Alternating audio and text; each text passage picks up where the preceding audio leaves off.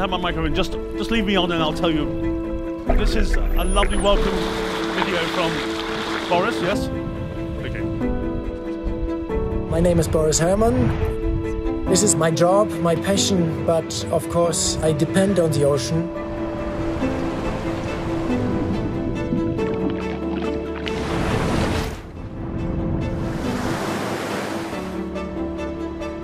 As my workplace and uh, to do my fascinating sport that I love. I need them to be preserved. And the biggest threats for the wildlife and biodiversity on the oceans and in the oceans is climate change. The oceans get warmer due to the man-made global warming. They absorb 93% of the excess heat, profoundly changing biology, chemistry in the oceans and being a huge threat to biodiversity.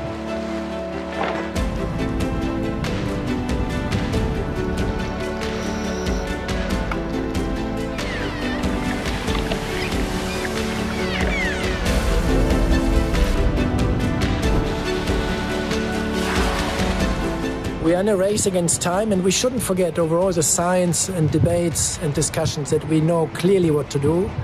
This is a decade where we have to turn around. We need to cut emissions fast. To tackle climate change is, of course, one of the biggest challenges for humanity at the moment, but it's also a challenge for the best ideas and for the fastest pace because it's a race against time and it's a race we must win. Good to be back in nature. Let's see what's the next challenge. That's it. Thank you, Boris. Unfortunately, we're hoping Boris could be live, but unfortunately, he's out at sea at the moment. Actually, he just got back. He just got Uh, back, okay. He, uh, he came in th- third, third Right. place for the first leg of the ocean race that started in Alicante and like has uh, eight stopovers. And this was the first part. And uh, yeah, he was very fast. And uh, now it collided with the with the arrival. So uh, sorry for that, but he sends his best regards and um, hopefully another time. Yeah. So, Cornelius, what is your relationship with Boris? Um, so I'm, I'm uh, basically running the partnership and sustainability program. So like the messages that you just heard from Boris is uh, that's on my desk. So I'm, I'm responsible for driving the sustainability program that we have. Uh, we are a racing team, we are a sailing team, but we're much more than that. Um, uh, for example, Felix, you mentioned these fantastic uh, uh, stories about innovation and decarbonizing of shipping. So this is, for example, at the heart of, of Team Malizia. We run a sustainability program, uh, education program with kids. So we, uh, we try to get kids to our boat, show them uh, how beautiful it is to sail, to be out in nature, and to teach them about climate change and ocean health. And, uh, and with, with that, uh, this is uh, basically like one of our cornerstones of the ca- campaign that we run, uh, including science. So we have on our board of a yacht, Malizia Sea Explorer, that's uh, the name of our boat.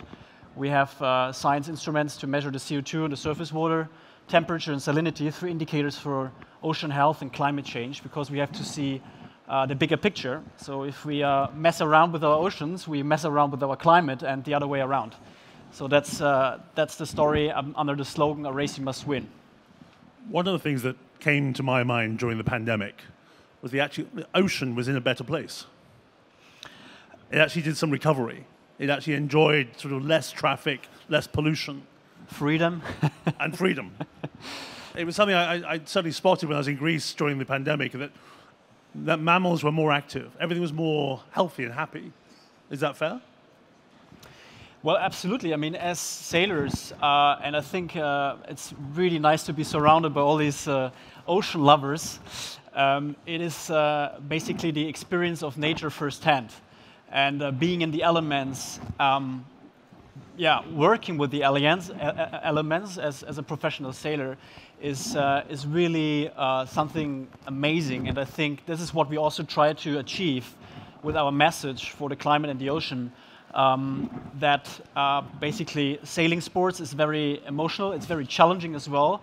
Uh, you need a lot of endurance, a lot of power as well, and a lot of thinking. And um, this is uh, yeah uh, like one of our let's say passion that we want to use as a propulsion to inspire and educate people about uh, our climate mission So, what do you think the yachting industry can do? What, what are our core objectives? So I would say, in principle, also like because we we also have a, a new boat, the Malizia 3, the Malizia Sea Explorer, and uh, I was sort of like also uh, part of the boat builders uh, at some point. Um, it was very interesting to see the innovation that goes into uh, the boating industry and the like. Also, innovation is, I think, um, is great, but it also has to be sustainable, right? Um, and this is, uh, of course, our principle when we built the boat was always if there is like an alternative, a sustainable alternative when it comes to material, when it comes to technology, uh, then we have picked this alternative, right? Uh, I also have something I want to show you. Um, for example, uh, we have a partnership with Green Boats uh, Technologies, and they're like front runners in sustainable materials and composites uh, used on our IMOCA, like our boat class. Um, and it's it's 100% organic. It's a flax, uh, basically a flax composite uh, with uh, with corn uh, buffer materials, and um, it's 100% recyclable. So, uh, of course, you cannot like replace all um, composites because you have to consider the tough and rough conditions in the Southern Ocean, for example. You don't want to have your boat, uh, you know, you want to trust your boat. You want to, you don't want to you know, break anything. Um, so you really have to consider that as well. But um, where it's possible and where innovation can really um, play a role and where it comes together with sustainability, I think this is the way forward. Yeah, yeah. I, I think one of the things that also comes under the agenda of this Blue Innovation Dock is the next generation, as in future sailors, future people who build yachts.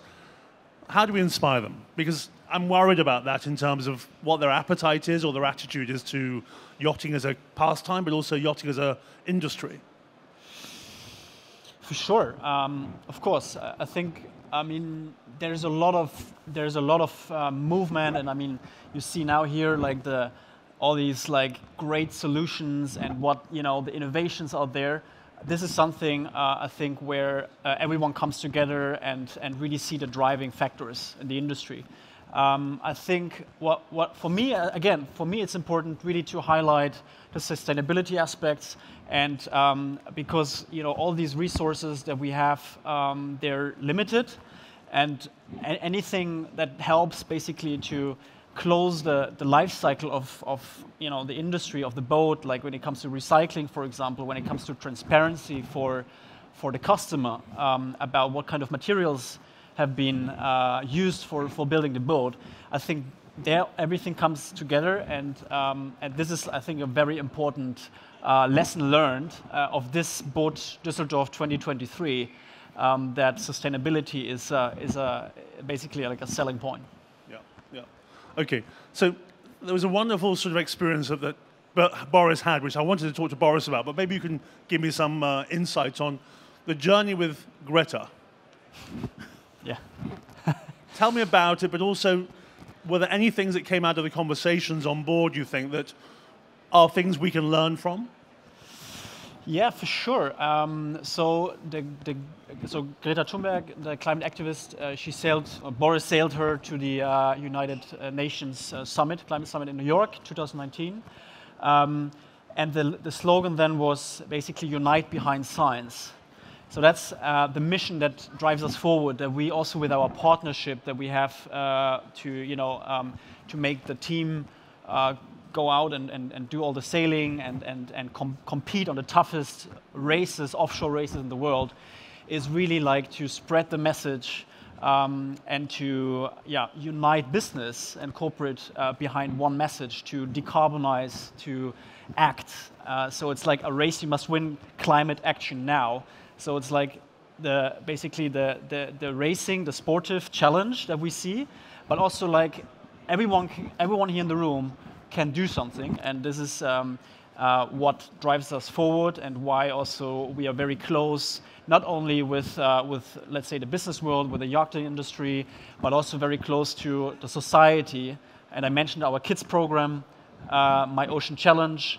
Uh, this is also like this the social aspect of our campaign that we really try to get the younger generation involved to learn about the ocean and and to inspire them and to go out on the ocean and to, to see climate change firsthand but also to act You call it a race, right? How long do we have? Yeah, I mean, the, if you look at the ocean, um, you have incremental effects, right? So I'm, I'm not a climate scientist, but I do love to read about it, and it's really important also, um, you know, to, to see the developments and to learn about it. So if you see like the ocean, the, the, the climate change is happening very incrementally, very slowly. So the CO2 which is emitted today will be in the ocean for decades. So the, the, the, the, tremendous, like the question is when, are, when is the tipping point? When do we reach a tipping point? I think nobody knows it. But that we are close to it, I think this is a matter of fact. And um, I mean, we see the outcomes of the, the COPs, we see, uh, we come together on these climate uh, dialogues and discussions, but I don't, I, am really like, I was a bit frustrated to see the results actually from Egypt, from the, from the COP, um, uh, from the latest climate dialogue, because it's, we, we, we know about all the facts, right? So let's, let's do something. So I really want to highlight the action now part of it. Um, I cannot answer the question about timing, but that we are close to a tipping point, I think that's for sure. I think that's the key point as a closing comment, Cornelius, is that there is no timeline. We just have to act now. Right. And all together. That's the message, isn't it? That's the, that's the message, and, and that's also like the message of our team participating in the ocean race. Uh, and, uh, and we are uh, really try to uh, you know, build a movement out of this and to convince people. And, and, and these events, for example, they're, they're like perfect, the perfect platform to spread the message. And everyone is invited to go on our website, follow the boat, follow us. Uh, we also come by in Germany, uh, in Kiel, uh, in, in June, beginning of June. And I'm um, also happy that uh, I see one of my colleagues over there, Kerstin. Uh, she, she's in charge of, uh, of the Kiel flyby. It's going to be like around a buoy and then to the next stopover, which is then The Hague. And the finals is in, in Genoa in um, end of June. Yeah. Excellent. Thank you very much for your time, Cornelius. Thank you. Thank you. All right.